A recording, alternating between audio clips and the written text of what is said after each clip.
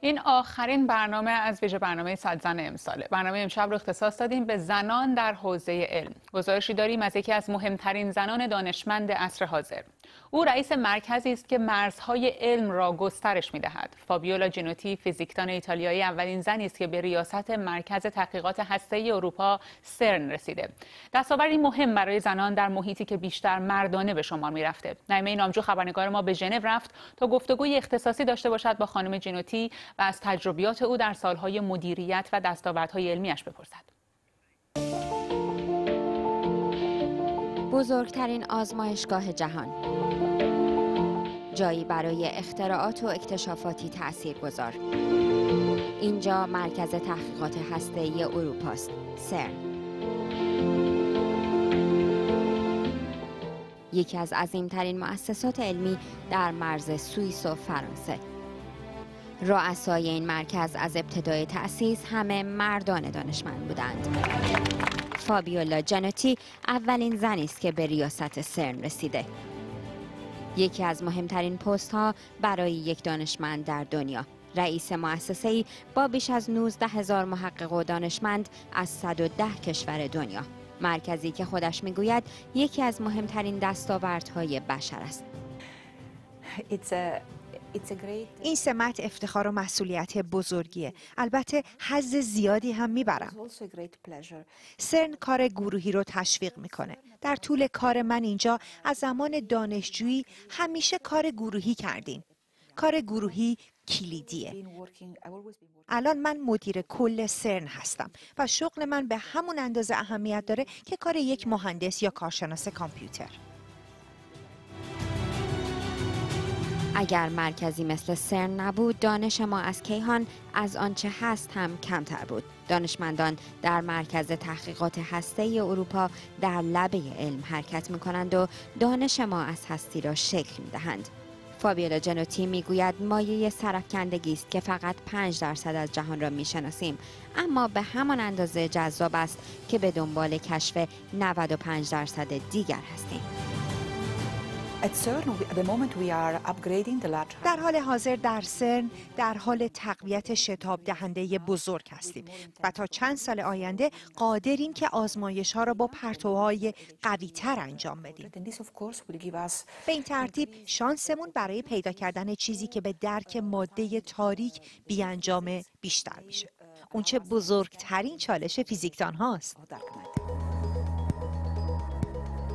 هدایت سرن کار آسانی نیست اما او تجربه گرانبها دارد که کار را برایش آسان تر می کند.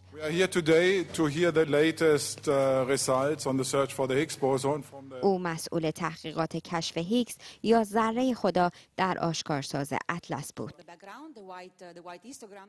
روز اعلام این خبر یکی از بزرگترین دستاوردهای علمی او و این مرکز بود. کسانی که سالها با او در این پروژه کار کردند می‌گویند در بحرانی ترین لحظات هم آرامشش را حفظ می کند.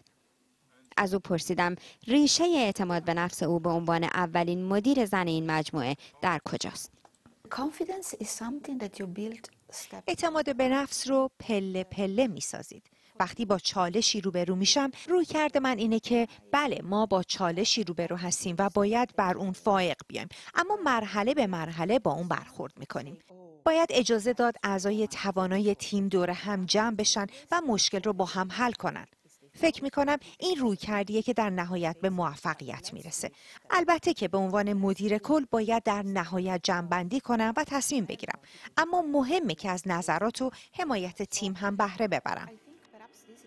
خانم جناتی 59 ساله و ایتالیایی است. از سال 1995 به عنوان فیزیکدانی جوان برای تحقیقات فوق دکترا به سرن پیوست. او عضو چندین کمیته و مجمع علمی جهانی است. این فابیولا جناتی نوجوان است که به ماری کوری دانشمند معروف بسیار علاقه داشت اما آن وقتها بیشتر در سرش رویای موسیقیدان شدن میگذشت البته که می‌گوید موسیقی و فیزیک برایش دو سوی یک سکه است So first of all, I don't think that I changed from music to physics. از موسیقی به فیزیک تغییر رشته ندادم هر دو برای من وجهه مختلف یک تصویر بزرگترن و اون خلاقیت بشر و کنجکاویه خلاقیت و نظمی که در موسیقی یاد گرفتم به اندازه خود دانشی که از فیزیک دارم در کارم به دردم می‌خوره. هنوزم در وقت آزادتون می نوازید؟ هنوزم پیانو می‌زنم ولی نه به اندازه که دوست دارم. موسیقی بخش مهمی از زندگی منه. زمانی که او وارد سرن شد تنها 8 درصد پژوهشگران و دانشمندان را زنان تشکیل می‌دادند اما حالا یک پنجم محققان مرکز تحقیقات هسته اروپا زنان هستند خانم جنوتی سالها در محیطهایی پیشرفت کرده که بیشتر مردانه به شمار می رفتند. هر فردی و در این مورد خاص زنان باید با تعهد و علاقه آرزوهاشون رو دنبال کنن. معلومه که زندگی پر از چالش و مشکلاته ولی نباید تسلیم شد. هیچ مشکلی حل نشدنی نیست. اگر که علاقه و اعتماد به نفس و نیروی محرکی وجود داشته باشه. اگه می‌خوای مثلا حقوق یا فیزیک بخونید باید آماده باشید و زحمت بکشید. اما تواضع هم بسیار مهمه. ما هرگز کامل نیستیم. توصیه من نهایت آمادگیه. تا اعتماد به نفس پیدا کنید و شور و علاقه و تواضع. فابیولا جنتی میگه که سالها فعالیتش در سرن تأثیر عمیقی بر او و شیوه مدیریتش گذاشته. اما اون چیزی که بیشتر از همه در مصاحبه به نظر می اومد این بود که تاکید او بیشتر از جنسیت بر دنبال کردن هدف و علاقه به اون بود. نایمه نامجو بی بی سی سرن اما دلارام جارچی استاد مهندسی برق و کامپیوتر در دانشگاه اسکس اینجا در استودیو با ماست. تحقیقات پست دکتراشون خانم جارچی در دانشگاه آکسفورد انجام دادن و مقالات متعددی هم منتشر کردن خانم جارچی به عنوان کسی که به حال هم در زمینه تحصیل هم در ایران موفق بودین هم در اینجا موفق بودین چه چالش هایی رو مقابل خودتون می‌دیدین؟ خیلی ممنون. تجربه شخصی من مربوط میشه به عضویت در گروه های علمی تحقیقاتی مختلف در دانشگاه مختلف انگلستان. چالش هایی که شخصا باهاش مواجه بودم بیشتر چالش های ارتباطی و مدیریتی بود و تونستم و سعی کردم که با ایجاد مدیریت گسترش و مدیریت همکاری های علمی با همکاران خودم به خصوص همکاران غیر خانم سعی در رسیدن به اهداف خودم در جهت رسیدن به اهداف خودم رو به جلو حرکت بکنم و همچنین سعی در افزایش های فنی خودم کردم و در این گروه های مختلف علمی از نظر تعداد خانم ها در اقلیت بودن و فکر می کنم چالش های ارتباطی و مدیریتی برای بیشتر خانم ها در همچین گروه هایی وجود خواهد داشت به عنوان کسی که هم در ایران تحصیلات عالیه داشته هم اینجا وقتی که مقایسه می کنید چه تفاوت هایی رو می بینید؟ از نظر کلی تجربه شخصی من چون من هم در ایران تحصیل کردم هم اینجا فکر می کنم در رشته خودم سطح تحقیقات خوب کیفیت تحقیقاتی در اینجا بالاتره. ولی می‌تونیم در رشته های دیگه در رشته های دیگر فنی هنوز می‌تونیم شاهد محققان خیلی خوبی از ایران هستیم. و من فکر می‌کنم در ایران خانم ها خیلی تشویق شاید نشن برای رفتن به رشته مهندسی. ولی در اینجا خانم ها خیلی تشویق میشن و دختران دانش آموز قبل از اینکه قبل از ورود به دانشگاه با رشته فنی آشنا میشن تشویق میشن و یک سری ویزیت هایی به دانشگاه دارن که باعث میشه که تشویقشان رشته فنی رو ادامه بدن. با این حال تعداد خانوم ها در انگلستان در رشته های فنی جزء اقلیت محسوب میشه. ولی در ایران با تمام محدودیت ها می‌تونیم ببینیم خانم ها رشته فنی رو انتخاب می‌کنن و ادامه میدن. فکر کنین چقدر انتخاب شخصی زنها در ایرانه؟ چقدر اون فشار اجتماعی که فکر می‌کنن همه باید دکتر مهندس شن؟ درسته فشار اجتماعی هم وجود داره. ولی خانم هایی که در اثر فشار اجتماعی وارد چنین رشته هایی میشن این, این, این, این دست افراد نمی‌تونن جذب شغل های مناسب بشن. سو بنابراین صرفا در به خاطر گرفتن مدرک وارد رشته فنی میشن. ولی می‌تونیم شاهد هستیم که خیلی از دختران درس خودشون رو ادامه درسشون بعد از اینکه درسشون رو تموم می‌کنن وارد بازار کار نمیشن یا وارد بازار کار رشته غیر مرتبط میشن. فکر می‌کنین که علت چیه؟ یعنی اینقدر فشار هست؟ مثلا من خودم ریاضی فیزیکم خوب بود سوم دبیرستان تصمیم گرفتم برم علوم انسانی و پدر مادرم گفتن تو که ریاضیت خوبه بیا برو مهندس شو. و من گفتم من دوست ندارم مهندس شم. ولی خیلی ها تحت تاثیر این فشار قرار می‌گیرن و میرن مهندسی و علایق واقعیشون رو فراموش می‌کنن نمیرن سراغش. فکر می‌کنید که چه کار باید بکنن زنانی که تحت این فشار هستن از جانب خانواده هاشون و نمی‌تونن مقاومت کنن؟ به نظر من فرهنگ نادرست خانواده ها می‌تونه باشه که با فرهنگ سازی و آموزش خانواده ها می‌تونیم این مسئله رو کاهش این مسئله که خانم ها جذب در رشته میرن که علاقهشون کمتره این مسئله رو کاهش بدیم. اشاره کردیم که اینجا عکسشه اینجا از سنین پایین به دختر بچه ها در واقع تشویقشون می‌کنن آشناشون می‌کنن با رشته های فناوری. اما کماکان خیلی علاقه ندارن. برای اون شما چه پیشنهادی دارین؟ در اینجا به خاطر جدیدن در انگلستان منشوری به نام آتنا سوان اومده که سعی می‌کنن در تمام محیط های کاری به خصوص محیط های فنی برابری جنسیتی داشته باشن. و به همین دلیل تشویق می‌کنن اعتماد به نفس خانم ها رو بالا ببرن. و یک سری شرایط مناسب برای خانم ها فراهم کنن. و اگر موانعی در در مسیر مسیر تحصیل یا شغل خانم ها باشه مثلا خانم هایی که دوران مادری رو طی می‌کنن شرایط مناسب برای اینجور خانم ها فراهم می‌کنن حمایتشون می‌کنن برای اینکه در محیط کار برابری جنسیتی باشه. و تلاشایی داره انجام میشه و شاید با این هم نوعی فرهنگ سازیه که دختران دانش آموزشون رو تشویق می‌کنن. قبل از رسیدن قبل از ورود به دانشگاه با رشته فنی آشنا می‌کنن تا بتونن این رشته فنی رو رشته فنی رو ادامه بدن و, و هدفشون رسیدن برابری جنسیتی در رشته های فنی و مشاغل مرتبط است. خیلی کوتاه فکر می‌کنید که چقدر موفق بودن این تلاش ها در غرب چقدر موفق بوده؟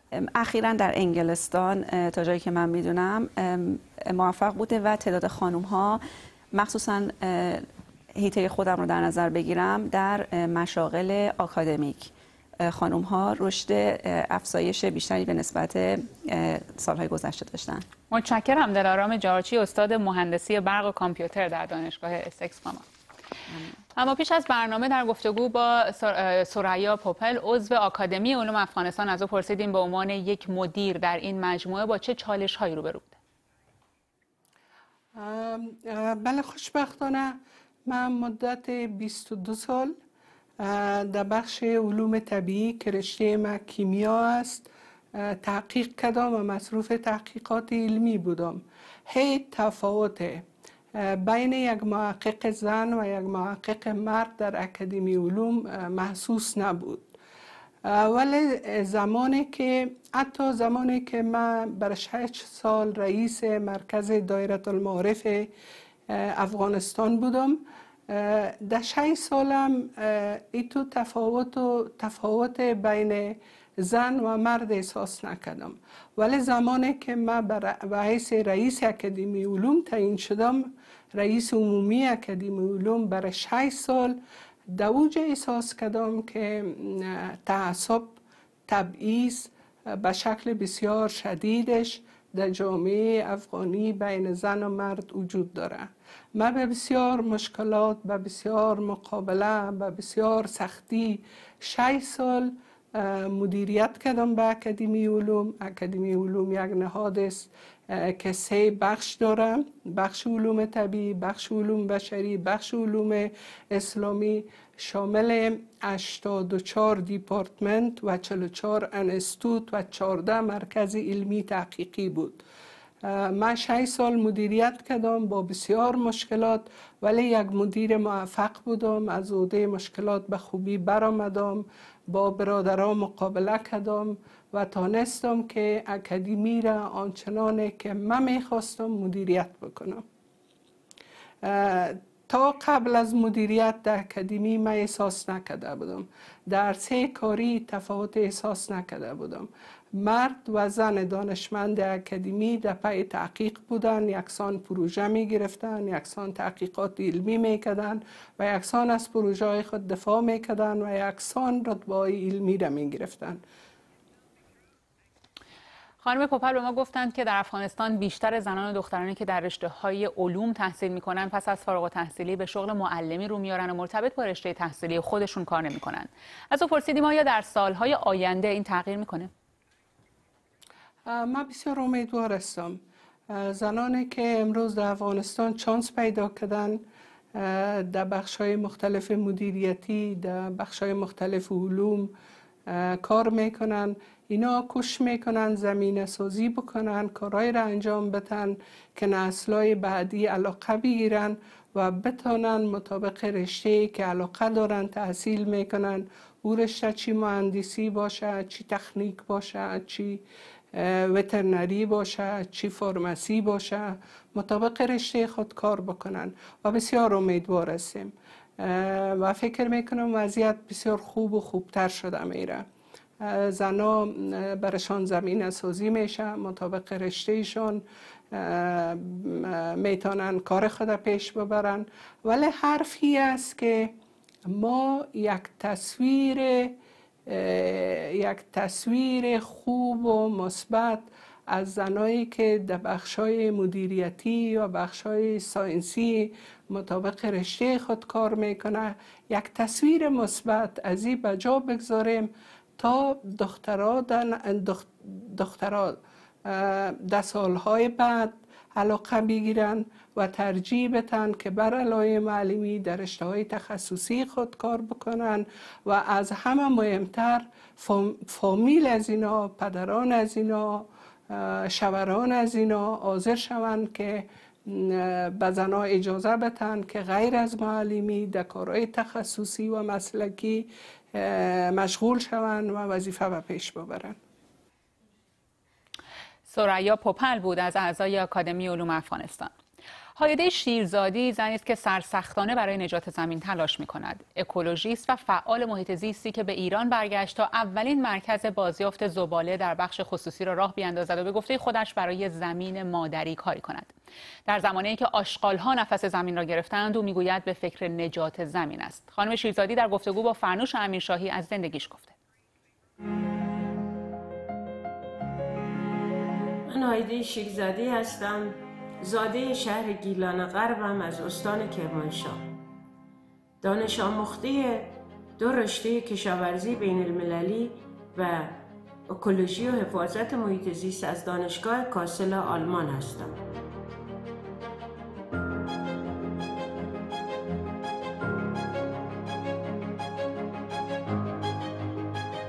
در سال 1380 پروژه بازیافت کرمانشاه شروع به کار کرد با طرح تفکیک پسماندار در مبدع اولین طرح آموزش تفکیک پسماندار در مبدع اولین طرح بیوکمپوست ایران در شهر کرمانشاه استارت خورد.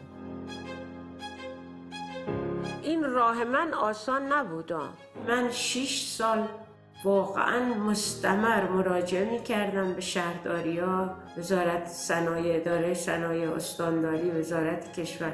از این پروژه حمایت کنم. من صدای زمینم چون زمین صدا نداره و ما باید صداشو برسانیم به گوش مسئولین به گوش جامعه که بتانیم زمین رو حفظ کنیم.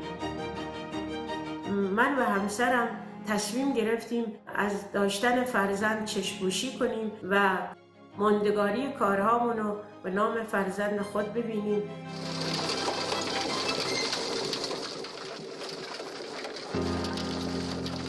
دویست شغل مستقیم ایجاد شده. 120 هزار متر مکعب شیرابه جلوگیری شده که سفرهای زیرزمینی آلوده می‌کنه. 700 هزار متر مکعب گاز گلخانی که اثر جهانی داره.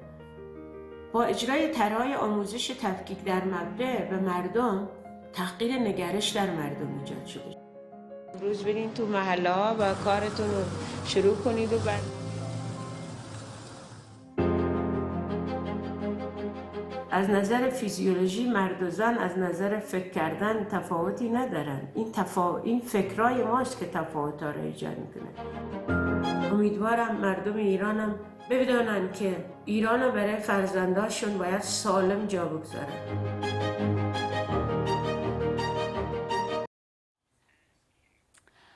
و اما امشب دو آرزو مهمان ما هستند. آرزو صنعتی نیا و آرزو آزادی. مهمانان ما در برنامه امشب و شبهای گذشته همه کارآموزانی هستند از آموزشگاه سرنای که در حال یادگیری موسیقی هستند و نسل آینده زنان موزیسین ایران خواهند بود.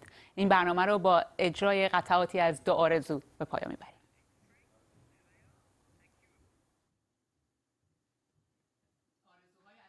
شروع کنیم.